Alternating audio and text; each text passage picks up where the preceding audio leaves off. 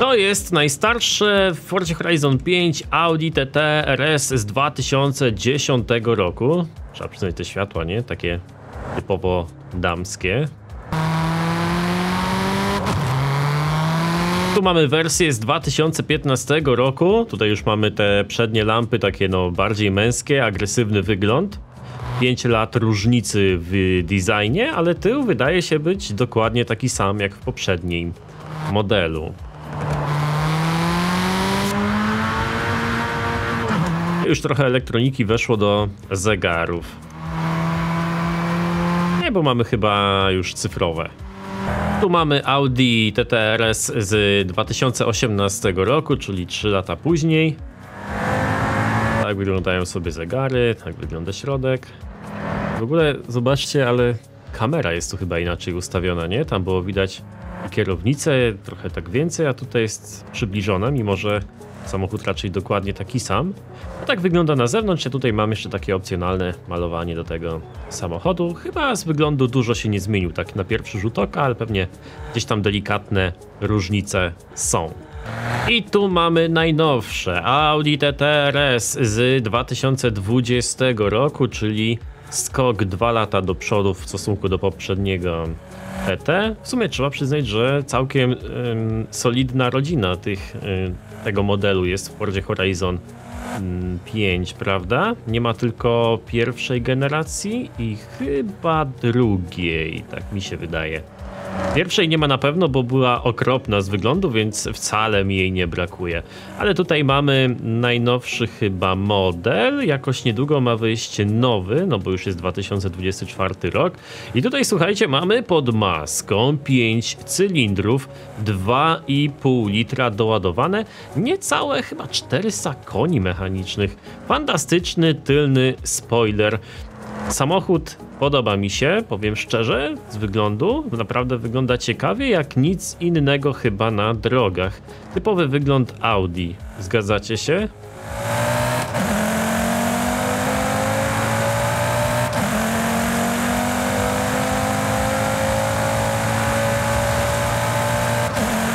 I o ile w modelu z 2010 roku, który pokazywałem wam jako pierwszy, mieliśmy skrzynię manualną tutaj w Fordzie Horizon 5, tak tutaj mamy już skrzynię automatyczną z łopatkami.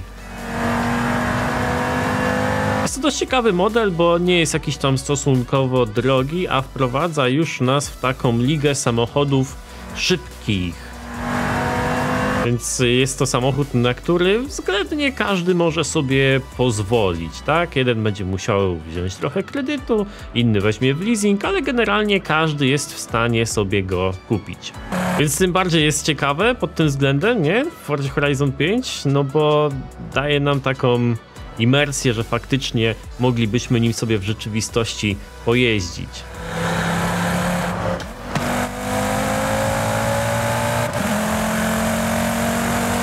Brzmi bardzo fajnie, trzeba przyznać. Zjeżdżałem kawałek z górki i trzeba przyznać, że jak schodzi z obrotów, to często pierdzi.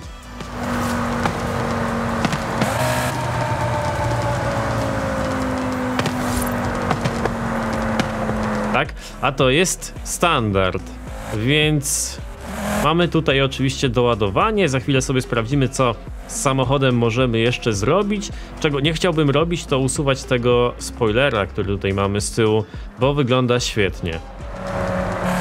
Ale tak trzeba przyznać, że chyba jakichś takich ogromnych stylistycznych różnic w stosunku do poprzednich modeli tutaj nie ma. Może gdzieś tam są różnice, jeśli chodzi o wyposażenie, o zawieszenie, może samochód lepiej się prowadzi, ale jeśli chodzi o te takie podstawy, czyli wygląd, no to jakby ktoś niewtajemniczony w markę Audi popatrzył na te wszystkie modele jeden po drugim, to pewnie nie byłby w stanie stwierdzić, który jest, mm, który jest który, to tym bardziej, a tym bardziej nie wiedziałby nawet, czy to nie jest ten sam model, czy jakieś trzy odrębne, prawda? W sumie sam bym nie wiedział, bo bardzo są podobne te modele. Poza tym pierwszym, który miał takie bardziej damskie oczy. Zerknijmy w Forza Vista, co on tutaj prezentuje. Zobaczmy na te światła. Okay, możemy zgasić, możemy włączyć. Bardzo fajne. W ogóle zwróciliście uwagę na tył. Mamy teraz dzień, to pewnie nie było widać dobrze, ale tutaj mamy ten mm, panel LEDowy prawdopodobnie przez cały tył. Taki mega subtelny, ale moim zdaniem zajebiście pasuje do tego samochodu. Czasami jak niektórzy producenci wrzucają te takie panele LEDowe yy, jakieś jakoś tak w ogóle bez smaku, na przykład y, Passat chyba wrzucił, no Volkswagen do swoich, swojego modelu Passat wrzucił taki panel gdzieś tutaj z przodu i czasami widzę to na ulicy jak jeździ, wygląda to źle.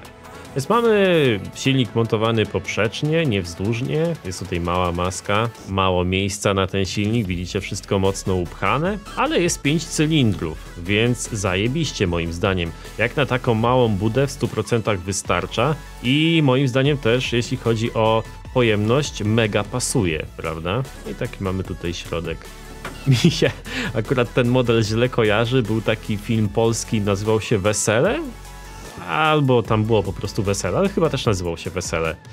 No i tam był właśnie pierwszy model tego samochodu, wyglądał okropnie i dopiero następne generacje, a zwłaszcza te ostatnie, zaczynają jakoś wyglądać, że faktycznie nie wstydzisz się tym samochodem wyjechać na drogę, ale skojarzenie z tym filmem jest okropne. No taki gościu kupił sobie ten samochód na ślub, żeby przyszpanować. Strasznie kurczę mi to zraziło do tej marki, do tego modelu konkretnie tamten film. Zobaczmy sobie fabryczne kolory tego auta. Więc mamy zielony, biały, czarny i taki szary. Pewnie one się nam nazywają, jakaś tam boska szarość albo coś takiego, nie wiem. Ale tak mówię po swojemu. Więc zielony jest dosyć ciekawy. Ostatnio też w social media często widzę ten kolor, więc sobie to wrzucę. A czemu nie? Która jest w klasie A, i chyba dobrze by się tutaj czuł ten samochód. Klasa A jest bardzo fajna do jazdy na kierownicy, tak przy okazji. Możemy sobie tutaj taką potężną ławkę zainstalować do tego samochodu, ale wydaje mi się, że to trochę nie pasuje do tego modelu. Na pewno poprawiłoby osiągi, jeśli chodzi o prowadzenie, ale to wydaje mi się, że lepiej nie.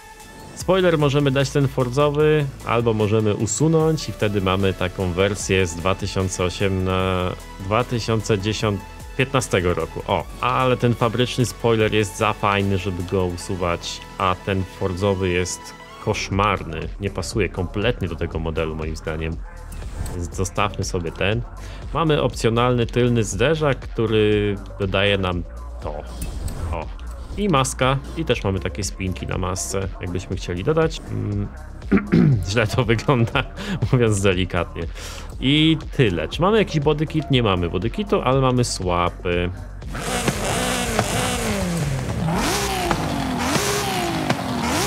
Możemy sobie wrzucić tutaj teoretycznie 6 cylindrów i 3 litry. No, trzeba by było się chyba nieźle nagimnastykować, żeby te 6 cylindrów tutaj wrzucić pod maskę, prawda? Oczywiście jest to quattro, więc mamy napęd na wszystkie koła, co jest dosyć ciekawe. Niewiele takich małych samochodów ma napęd na wszystkie koła.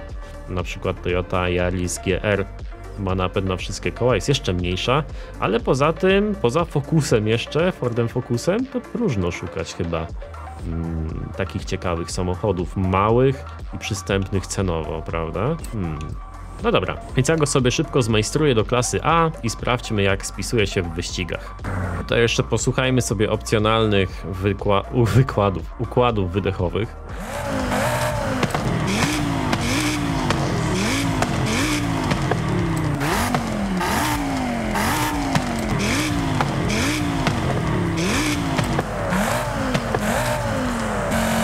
Samochodzie delikatnie zwiększyłem moc do 420 koni mechanicznych, ale skupiłem się głównie na prowadzeniu, czyli dałem opony semi-sliki e, i myślę, że raczej będę odstawał tutaj w multiplayerze gdzieś tam z tyłu na tych wyścigach szosowych. Nie wiem, bo jeszcze nie testowałem. No i jednak no brakuje tego spoilerowania, które moglibyśmy sobie wyregulować. To przyspieszenie na klasę A jest moim zdaniem ospałe, tak jak na pierwsze kilometry, które sobie przejechałem. Ale spróbujmy. O, wow, pełny skład. Widzę, że resek jest całkiem sporo, łącznie z moją aż 4 sztuki.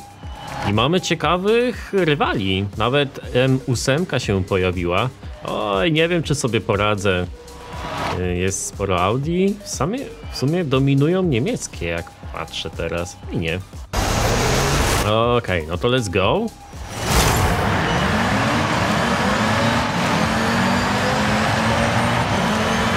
O!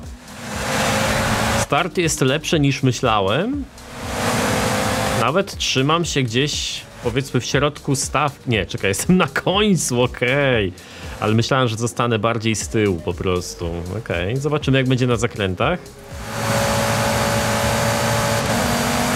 Więc tak, mamy tutaj standardową skrzynię biegów, oczywiście automatyczną, ale zainstalowałem y, tą wyścigową, dzięki czemu mogłem sobie wyregulować biegi, które oczywiście skróciłem.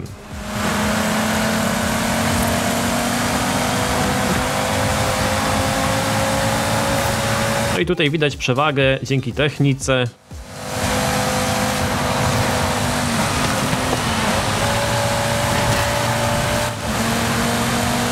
Przede mną BMW. A, trzymam się gdzieś tam w stawce, czyli chyba ten tuning nie jest taki okropny.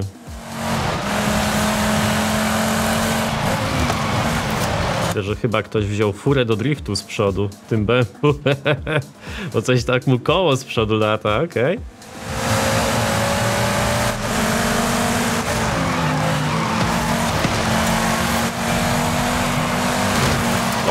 ale dałem.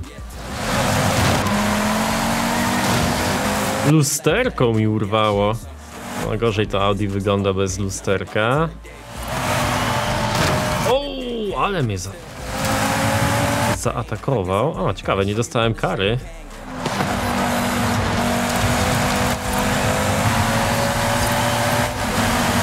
Dawaj, strumień aerodynamiczny. Będzie spychanie, czy nie będzie spychanie? A!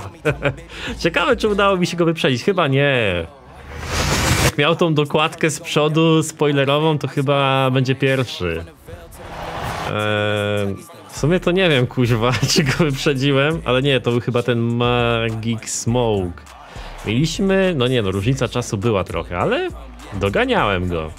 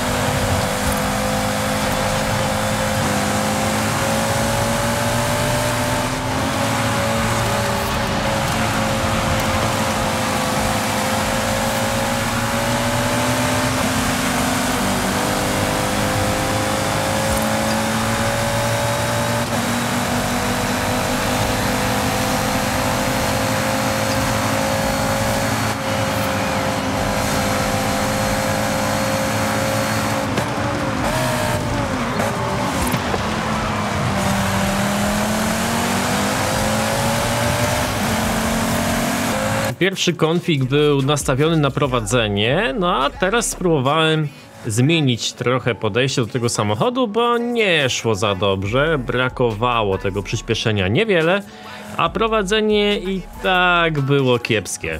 Więc dałem standardowe opony z powrotem, a za to zwiększyłem moc do niecałych 500 koni mechanicznych i cały czas posługujemy się standardowym silnikiem, czyli 5 cylindrów doładowany i na postoju brzmi całkiem fajnie. Posłuchajcie.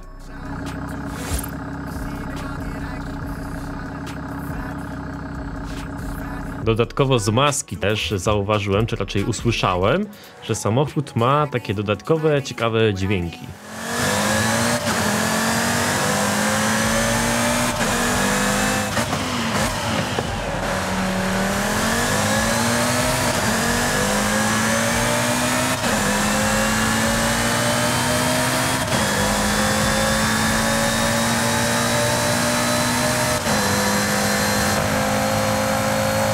Więc wyraźnie słychać tutaj wyścigową y, skrzynię biegów, a teraz przy okazji możecie zobaczyć ten dodatkowy panel LEDowy przy hamowaniu. Wygląda on sobie tak, więc jest subtelny, ale coś się tam świeci. Bardzo ładnie.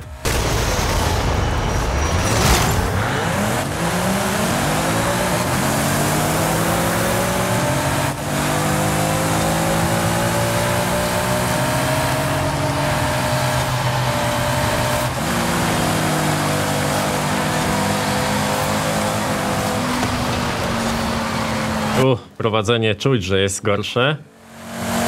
Wypadłem łatwo z tego zakrętu, ale przyspieszenie też jest lepsze. Więc trzeba się po prostu nauczyć. Yy, Ponieważ prowadzenie jest gorsze, to spróbowałem zrobić tak, żeby samochód był nieco bardziej nadsterowny. Więc będzie go trudniej kontrolować w niektórych sytuacjach, ale powinniśmy nieco lepiej pokonywać te zakręty ogólnie. No zobaczymy.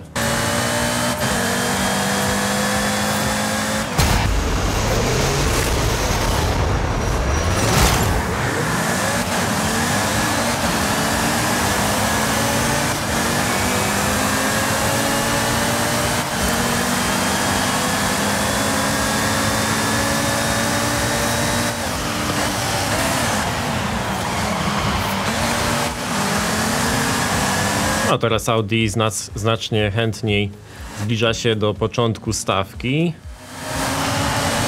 Czyli myślę, że ten tuning byłby odpowiedni dla tego auta. Czyli raczej celujemy w nieco więcej mocy kosztem jeszcze gorszego prowadzenia, ale tutaj polepszenie tego prowadzenia poprzez, y, wiesz, montowanie lepszych opon, no niewiele daje, tak? Samochód raczej nie będzie się jakoś zajebiście prowadził tutaj w Fordzie Horizon 5. Chyba, żebyśmy dołożyli te spoilery, ale wtedy byśmy raczej... Hmm. Czasami tylny spoiler sprawia, że jak zainstalujemy sobie go, ten Fordzowy, regulowany, sprawia, że zmniejszają nam się te ogólne staty i wtedy moglibyśmy tą zniżkę wykorzystać na monto, zamontowanie, wiesz, więcej mocy i może wtedy jakoś by ten samochód lepiej śmigał. Ale powiem szczerze, nie widzę tutaj jakiegoś potężnego potencjału w tym samochodzie i raczej... raczej bym go sobie brał po prostu do jazdy tak o na wyścigach, bez żadnej spiny. Trzymanie się gdzieś w środku stawki, jak ci się poszczęści, to może trzecie miejsce albo lepiej. Na pewno na jakiś zlot, bo jest to ciekawy samochód, ale chyba na multiku nic nim nie zrobimy. Zróbmy sobie jeszcze maksymalny tuning.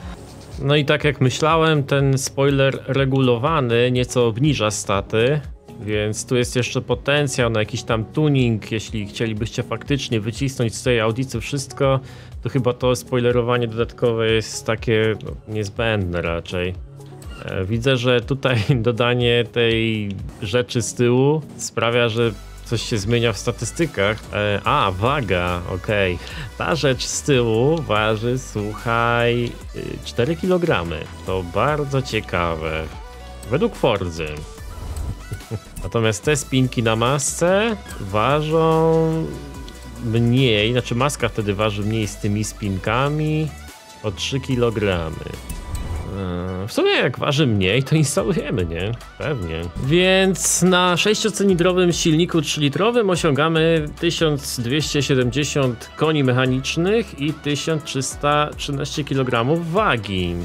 Samochód ląduje w klasie S2, w której jak się pewnie domyślacie, na wyścigach online kompletnie sobie nie poradzi, ale ciekawie, że można go aż tak mocno zboostować i zastanawiam się, czy byłaby szansa, aby poradził sobie jakkolwiek w klasie S1. Jestem przeciwny robieniu swapów w samochodach, zwłaszcza w grze, w której jedyne czym możemy się nacieszyć to tym, żebyśmy sobie na te samochody popatrzyli bardziej, nie? Niż tak faktycznie na serio się pościgali jak w jakimś symulatorze czy coś. Pozbawiliśmy tego samochodu duszy tak naprawdę, bo zmieniliśmy mu silnik na coś w stylu Supry. Fura ma zajebiście dużo mocy, zmieniła swój dźwięk, więc jest to zupełnie inny samochód teraz Mnie się to oczywiście nie podoba, ale pokazuję wam maksymalne osiągi, jakie możemy z tego auta wyciągnąć, bo niektórzy czasami mnie się pytają, skąd ja mam dany samochód, jak go zdobyć, dlaczego ja go nie mam, nie można go kupić w tym warsztacie samochodowym. No to właśnie no, trzeba go zdobyć w tych playlistach, tak? No, na tym polega Forza, że jak sobie nie wbijesz i nie zdobędziesz, to nie będziesz miał, nie będziesz mógł później kupić. Fura ma jeszcze możliwą do zainstalowania specjalną turbo sprężarkę z antylagiem, ale jeśli nie chcecie robić tego samochodu na rajdy, to kompletnie nie opłaca się tego robić. Znaczy nie ma sensu. Po co? Chyba, że dla pierdów. No faktycznie to może mieć wtedy sens, żeby posłuchać tych pierdziawek. No i w klasie S2 to oczywiście jedzie sobie fajnie, ale czy faktycznie, no nie, no na Multiku raczej nie ma szans czymkolwiek, prawda? Każdy Hyper Auto go zje, zwłaszcza, że Audi już tutaj gdzieś na tym, na tym wzgórzu zrobiło jakieś dziwne rzeczy i zaczęło nim rzucać. A to może kwestia tam tuningu, nie?